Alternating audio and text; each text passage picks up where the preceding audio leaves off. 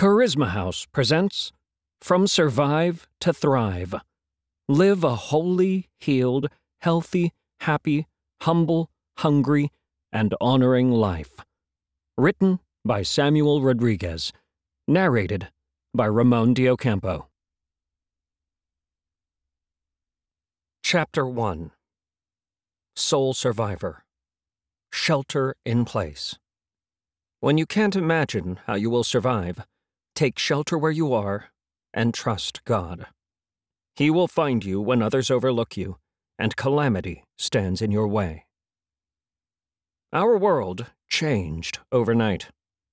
In a matter of days into weeks, the COVID 19 pandemic engulfed the globe, bringing dramatic changes to virtually every area of our lives. Like wildfire spreading from a distant wilderness into our own backyards, the novel coronavirus attacked human bodies regardless of age, gender, race, income, education, or status. While the elderly and infirm seemed most susceptible, the virus defied categories and seemingly attacked arbitrarily. Accurate information on its transmission, incubation, and rate of contagion could not be pinned down. Because it was a new virus, science reached its limitations quickly and found it difficult to discern accurate patterns of how it spread, who was most susceptible, and what we could do to protect ourselves and our families. Government and civic leaders struggled to know the best course of action to prevent the spread of the disease. Painful divisions fractured into battle lines. We weren't sure who to trust and what to believe.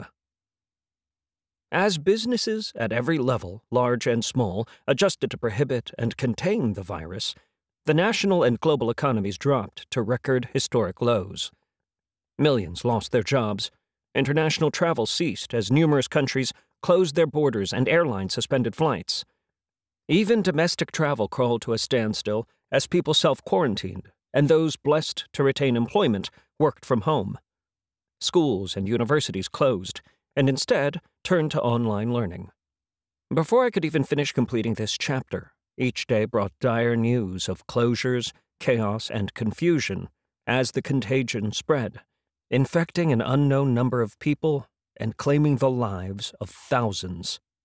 We learned what it means to shelter in place, to practice social distancing, and to stock up on toilet paper. The repercussions continue, and likely will, for years to come. Even in the bleakest, most overwhelming days of the pandemic, however, we never lost hope. We know the battle belongs to the Lord, and that He is the source of all healing. Out of this humbling, crippling experience, followers of Jesus have discovered new opportunities for relying on God's power to sustain us through unimaginable circumstances, even as He uses us to do the impossible. We know that Christ died to heal you and me and everyone suffering physically, emotionally, mentally, spiritually, relationally, financially, and beyond. God's word could not be clearer. But he was pierced for our rebellion, crushed for our sins. He was beaten so we could be whole. He was whipped so we could be healed. Isaiah chapter 53 verse 5. New Living Translation. Jesus conquered the power of sin and death in our lives once and for all, becoming the perfect sacrifice to pay a debt none of us could fulfill. He himself carried our sins in his body on the cross so that we would be dead to sin and live for righteousness, we're told. Our instant healing flowed from his wounding. 1 Peter chapter 2 verse 24. The Passion Translation. Even before Christ came to earth in human form, God's people knew of his healing touch. He heals the broken-hearted and binds up their wounds. Psalm 147, verse 3. No matter what you're going through, no matter how you're suffering, no matter what you've lost, nothing, not even the coronavirus, can prevent you from knowing the healing touch of the great physician. God has not brought you this far and sustained you through the worst of the worldwide pandemic so you can merely survive. He has not blessed you and equipped you so that you can merely return to the status quo. drawing on the promises of God's Word and the power of His Holy Spirit, you can stop scrambling to survive and experience the divine anointing to thrive. Point of impact. No human being healthy in mind, body, and spirit enjoys pain. By its very definition, pain causes distress, disruption, and dysfunction. Whether acute with the sharp intensity of a blade stabbing through your body, or chronic with the dull, unbearable ambience of constant paper cuts, pain directs our attention to the location of our wounding. If someone comes up and punches you, then you become aware of the point of impact and the resulting pain on contact. Your jaw receives the force of the fist pummeling your face. Instinctively, you turn to avoid the blow to your nose, eyes, or temple in an attempt to protect the most sensitive areas prone to the most damage. Nerve endings transmit pain back to your brain as your body instantly begins to assess the damage and initiate recovery. The coronavirus, its devastating economic impact, and all the unrest and turmoil our nation and our world has faced, has left all of us reeling in the agony of a comprehensive assault. The uncertainty of its approach, the duration of its attack, and its uncompromising assassination of hope left us gasping in ways few people alive in the world today have ever experienced. Leaders we trusted seemed to know less than we did. Organizations and institutions disintegrated into anarchies and oligarchies. As we wondered how we would pay our bills and provide for our families, we felt orphaned and isolated, left without resources in a world depleted and exhausted. For all of their crushing destruction and lingering effects, the circumstances of the recent past have an eternally significant silver lining.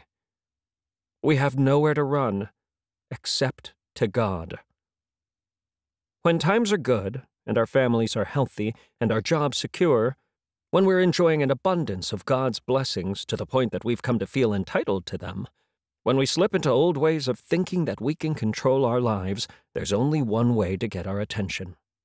Because when we lose something, or someone, when the future we had mapped out suddenly vanishes in a matter of minutes, then we realize just how little control we have over anything in our lives. We recognize our limitations in these mortal bodies and turn back to the omniscient, all powerful, almighty God creator of heaven and earth. The temptation during such trials might be to despair and wonder why we have to suffer while it appears others do not. Like Job, a man whom God allowed to lose everything his family, his fortune, his health we cannot fathom what we have done to deserve such anguish and suffer such loss. But when the whole world is suffering alongside us, when we look around at our friends and neighbors, our coworkers and colleagues, our acquaintances and familiar faces, and see the smoldering pain and vacant expressions, it can be even more confusing. When we're unable to embrace loved ones and forced to endure unbearable distances apart with no end in sight, we feel confined by our loneliness. We may even be tempted to rage against God and cast blame on him for allowing us to suffer so harshly for so long.